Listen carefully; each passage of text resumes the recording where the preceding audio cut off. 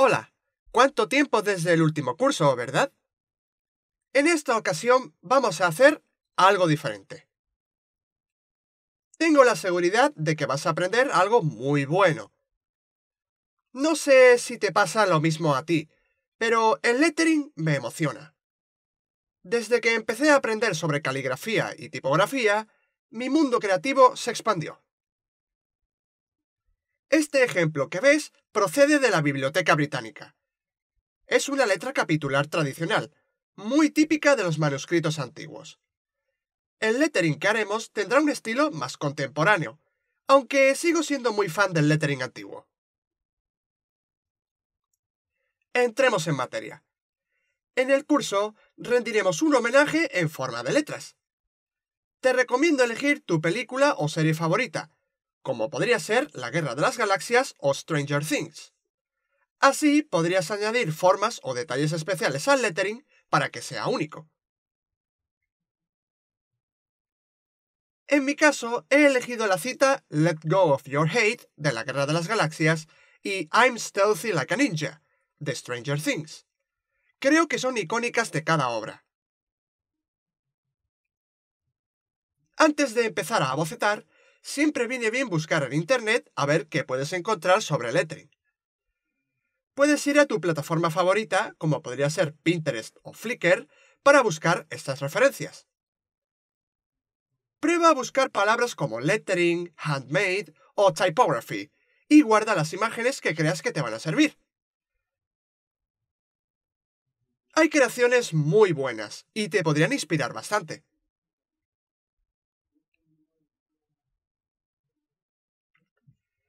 Yo he elegido unas imágenes de referencia para el estilo. Aquí puedes ver algunas con un estilo moderno y popular. Nos servirán para la cita de Stranger Things. Se asemejan a letras pintadas con un pincel.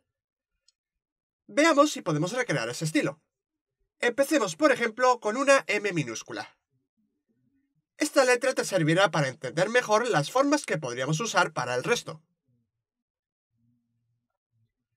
Dibuja primero el esqueleto de la letra.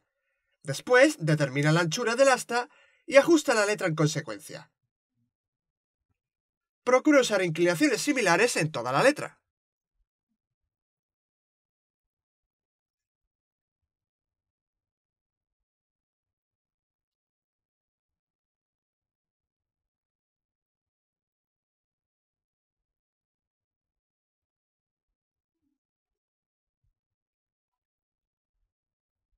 Usa la misma anchura de asta para las demás letras, claro.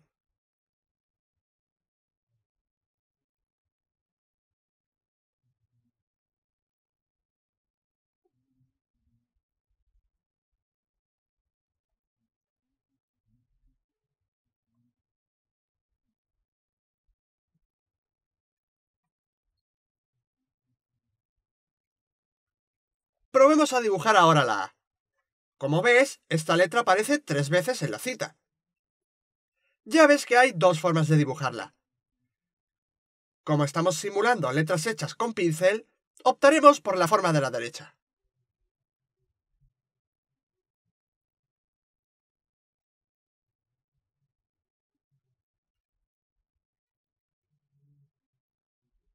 Es un poco diferente a la letra M, pero aún así procura que el estilo sea consistente.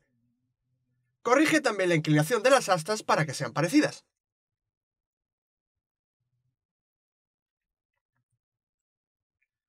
Piensa ahora en cómo te gustaría disponer las palabras de la cita. En mi caso, quiero darle énfasis a ninja. Voy a dividir la cita en tres partes para que haya equilibrio. Voy a bocetar rápidamente cómo sería.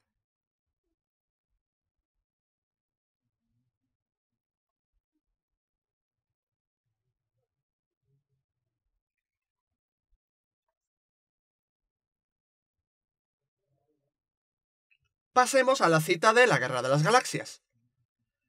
La imagen que vamos a usar de referencia es de este abecedario hecho con un tiralíneas sobre papel. En esta ocasión vamos a dar un enfoque distinto. En esta cita me gustaría enfatizar la palabra hate. Así pues, dividiré la cita en tres. Como la cita está en modo imperativo, creo que podría ser adecuado escribirla en mayúsculas. El tamaño de la palabra hate será mayor al de las demás.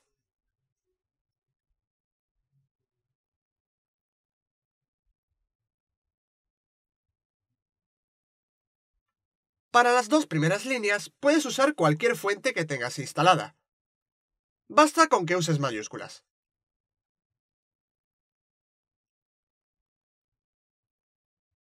Traza el esqueleto de las letras, pero con una anchura mayor que antes para que tengan una mayor solidez.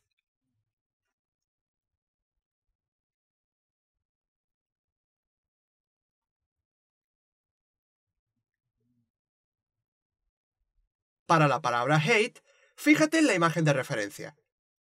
Esas letras tienen un aspecto más agresivo e impactante. Tienen astas con distintas inclinaciones y longitudes. Básate en la referencia hasta conseguir un resultado con aspecto caótico.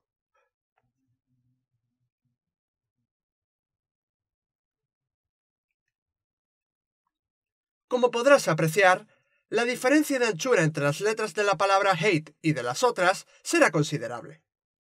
Sin embargo, lo compensaremos haciendo que la palabra hate tenga mayor altura. Fíjate también en las diferentes proporciones. Compara las dos es. La de arriba es más cuadrada y la de abajo parece más rectangular.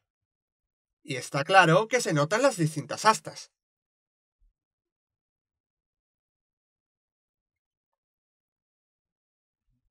Aboceta todo lo que se te ocurra. Ayúdate de las referencias si necesitas ideas. Cuando hayas abocetado las letras en papel o en una tableta gráfica, repasa la composición y refínala. Después pasa a la siguiente lección.